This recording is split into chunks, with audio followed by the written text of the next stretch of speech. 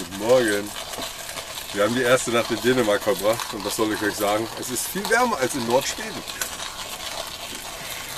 Und die Sonne scheint. Wir stehen direkt am Meer. Alles prima. Und jetzt gibt es einen Kaffee. Wir sind Melanie und Uwe. Schon seit 1990 reisen wir immer mal wieder Teile von Europa. Dabei haben wir die verschiedensten Campingvariationen ausprobiert. Nun geht es weiter in unserem selbst ausgebauten Van zusammen mit unserem Hund Cooper.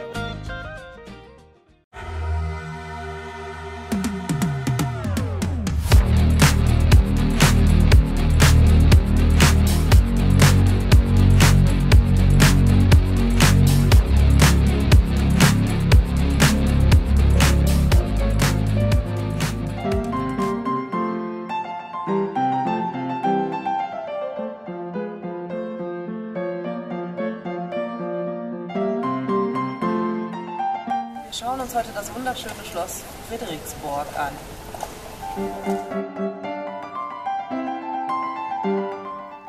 Das Wasserschloss Frederiksborg ist ein bedeutendes Renaissance-Bauwerk mit Kastellanhaus und Neptunbrunnen.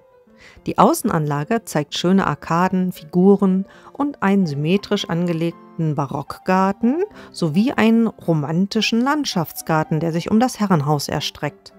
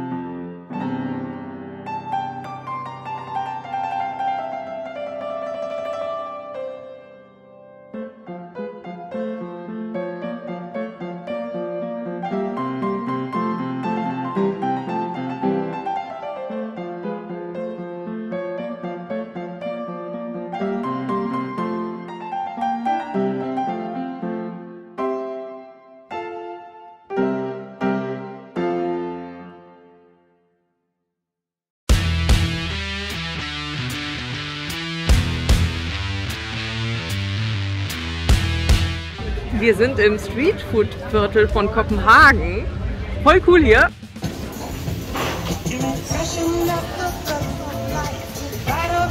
For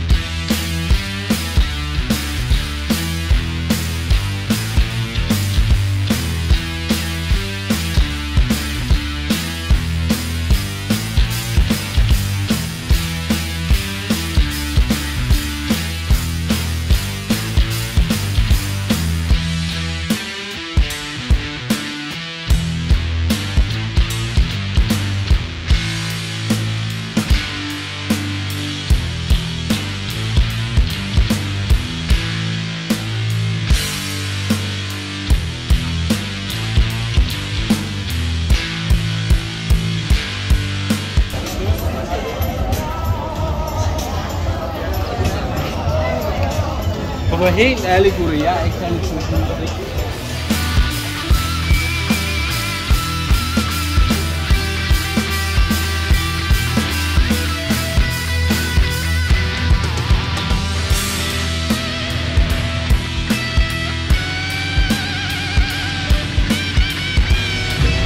Wir besuchen heute mal die Freistadt Christiana in Kopenhagen. Genau.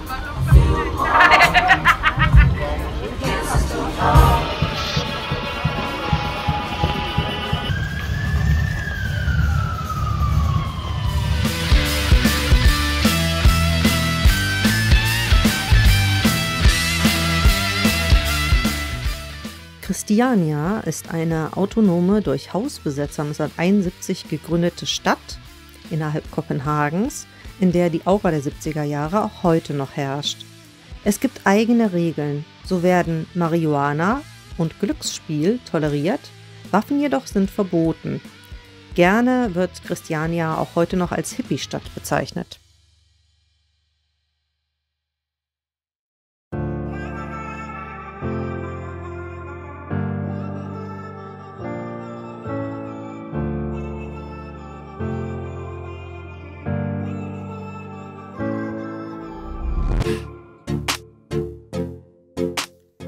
Des Weiteren schauen wir in Kopenhagen auch das Kastell an.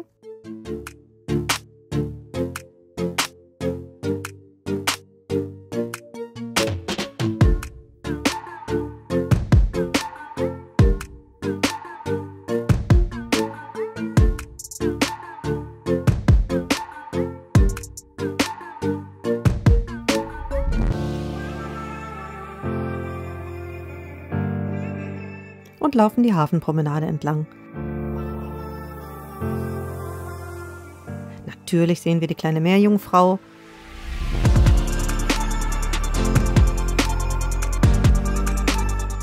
Und posieren ganz romantisch, allein. Äh, naja, nun doch nicht so ganz allein.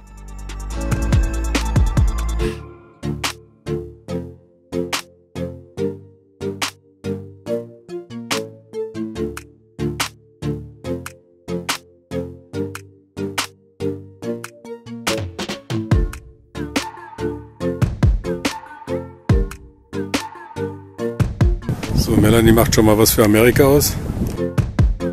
Also sie hat sich da nett mit ein paar Amerikanerinnen unterhalten.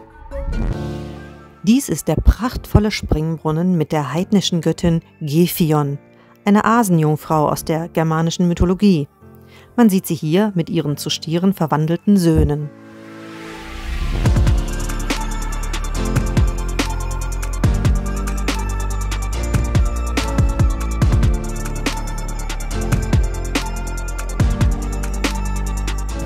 Heute am zweiten Tag in Kopenhagen. Schauen wir uns die Innenstadt, die Altstadt an.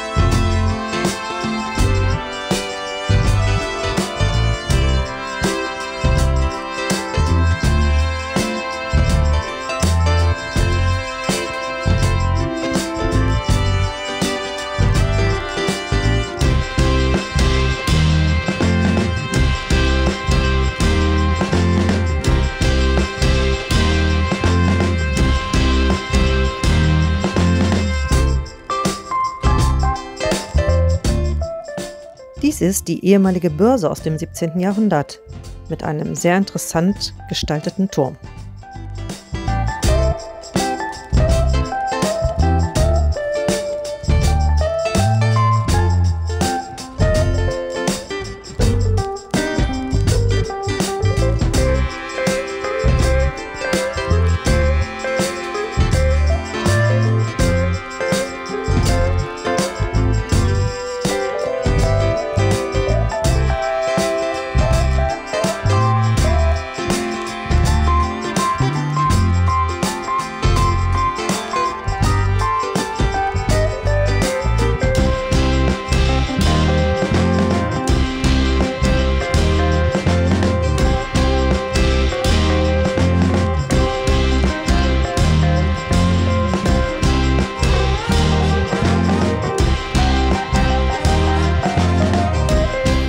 Hier gibt es sogar ein 25-Stunden-Hotel. Ich denke, machen, die machen mittags durch, oder?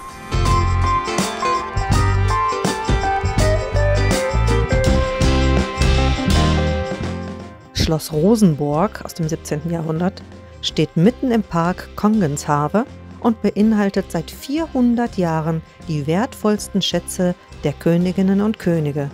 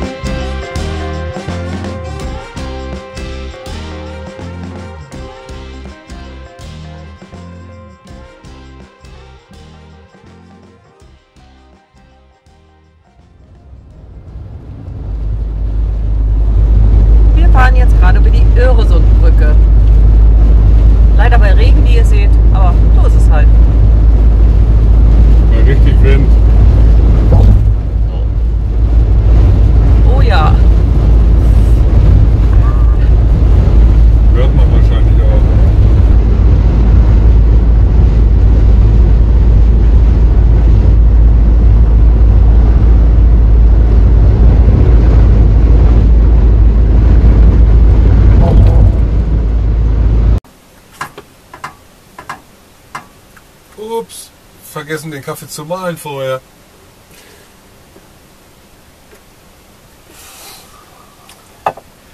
Heute Morgen. Morgen. Guten Morgen, genau. Heute Morgen wollen wir euch mal das Resümee von Kopenhagen geben. Genau. Wir haben ja gestern Kopenhagen angeguckt und äh, also gestern und vorgestern, wir waren Zwei ja Tage. zwei Tage da. That's life. ja, ich musste gerade erstmal den Akku wechseln, der war natürlich gerade jetzt leer. Das ist ja immer so, ne? Aber das war auch ein Akku. Ja, den werden wir jetzt auch entsorgen, den Akku. Der war schon ziemlich alt und egal jetzt. Ja. Okay, Kopenhagen. genau. Also die Fressmeile. hatten wir schon, die war klasse. Alles in alten genau. Containern. Ja, das war total super. Und den Tipp haben wir von unserem Sohn gekriegt. Der war nämlich, als er zu Besuch war bei uns, auf dem Hinweg in Kopenhagen und hat die Mit Begeisterung eher ist er da Streetfood-Viertel drüber gelaufen. Genau. Ja, genau. Ja, danach waren wir in dem äh, in der Freistadt, in der geduldeten Freistadt Christiana. Ähm, jo. Das war so ein Viertel, äh, da hätte ich mich nachts nicht ohne meine Kumpels reingetraut. Ich hatte ja bei Melanie dabei, wir waren ja auch tagsüber da, dann, Dann ging, ging das. Aber Ja. es war trotzdem interessant, also es war jetzt nicht, äh, also an jeder Ecke wurde man angequatscht wegen, äh, wegen Drogen kaufen und Ja. äh, überall lagen die Kiffer rum. Äh, Hütchenspieler ohne Ende, dort durfte man übrigens nicht filmen. Das war extra Ja. ein großes Schild und die haben dich auch ganz böse angeguckt, weil du mit der Kamera da durchgegangen bist. Ich habe das Ähm, anfangs überhaupt nicht gemerkt. Ich habe einfach immer Fotos gemacht und gefilmt und auf einmal sagte Uwe, äh, pass mal auf. Ja, Ja. okay. Ähm, Ja, äh, achso, zu der Streetfood-Meile wollte ich gerade noch kurz sagen, die Preise sind allerdings gehobene Klasse. Ja, okay. Ja, ähm, zweiter Tag Kopenhagen. Ja, am zweiten Tag haben wir uns dann ähm, erstmal am Hafen ein bisschen rumgetrieben. Ähm, der sah sehr schön aus, gab Parks, Skulpturen. Nette Leute haben wir getroffen Ja. aus Amerika. Einen schönen Gruß an dieser Stelle. Und ähm, ja, dann haben wir natürlich die kleine Meerjungfrau besucht, habt ihr ja gesehen. Also wir müssen sagen, wir kannten Kopenhagen schon, allerdings ist das schon, ähm, was haben wir, 22, dann ist das schon 30 Jahre her. es hat sich ein bisschen was verändert. Da, wo Ja. wir damals geparkt hatten, stehen jetzt Hochhäuser. Ja, man muss dazu sagen, also Kopenhagen ist schon schön und viele alte äh, Gebäude, Backsteinhäuser und so weiter sind noch vorhanden. Aber genau dazwischen haben die wirklich super moderne, gläserne Bauten gesetzt. Es ist ein bisschen befremdlich, aber vielleicht macht es auch das gerade heutzutage aus. Aber insgesamt hat uns Kopenhagen trotzdem sehr gut gefallen. Ja. Ähm, ihr habt ja gesehen, ich durfte irgendwann nicht mehr filmen, hat der Wachsoldat mir verboten, aber er wollte eigentlich nur, dass ich vom Fußweg runtergehe. Ich habe das nur nicht verstanden. Ja, okay, wir haben dann doch mehr die alten Bauten gesucht, weil das interessiert uns irgendwie mehr. Na, genug gelabert, Genau. Kopenhagen war schön. Wir Jetzt frühstücken aber jetzt, beziehungsweise frühstücken. trinken Kaffee und dann geht's weiter.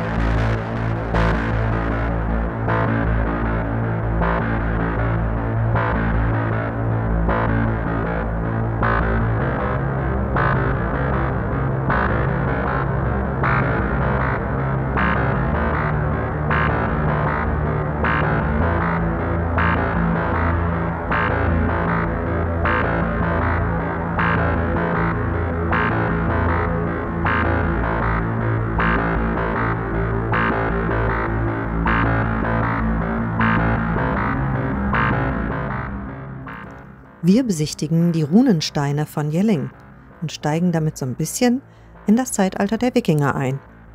Denn Harald Blauzahn, König von Dänemark und Norwegen, schwur den nordischen Göttern ab und bekannte sich zum Christentum. Und dieses Ereignis musste er natürlich festhalten und somit ließ er es in Stein meißeln.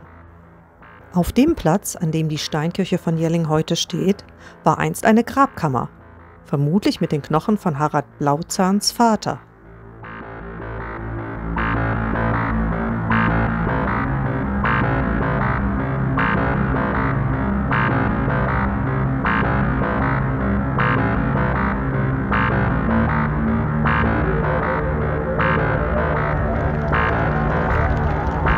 Diese Einfassung, die ihr hier seht, soll den ehemaligen Königssitz von Harald Blauzahn eingrenzen.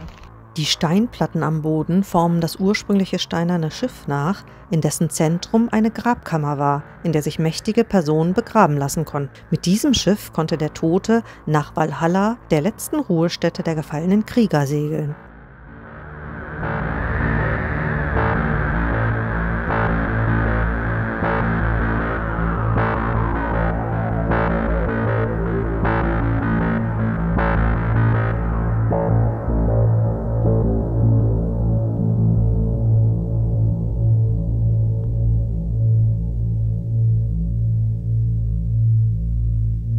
Außer Kopenhagen kannten wir Dänemark eigentlich nur als Durchreiseland. Ja, und jetzt schauen wir uns Dänemark ein bisschen genauer an. Und die ersten Eindrücke waren schon überraschend gut. Ja, wirklich. Und es bleibt auch spannend. Wir gucken uns noch ein paar Sachen mehr an in Dänemark. Also Nächste solltet ihr weiter. auf jeden Fall nächste Woche wieder einschalten. Auf jeden Fall. Und wenn euch dieses Video gefallen hat, dann wisst ihr Bescheid, was zu tun ist. Und wenn euch auch ein bisschen was Geschichtliches hier, ähm, König Harald und so weiter, auch gefallen hat, könnt ihr das ja mal in den Kommentaren kundtun. Ja, vielleicht gucken wir uns ja nächste Woche noch ein bisschen mehr von König Harald, Wikinger, Kingern an. Wer weiß. Vikings. Oha. naja, lasst euch mal überraschen. Es wird noch einiges kommen. Okay. Wir Daumen hoch, freuen wir uns. Abo, wisst ihr Bescheid. Und jetzt darfst du es sagen. Wünschen euch eine schöne Woche. Und jetzt wünschen wir euch eine schöne Woche. Bis dann. Bis dann. Tschüss.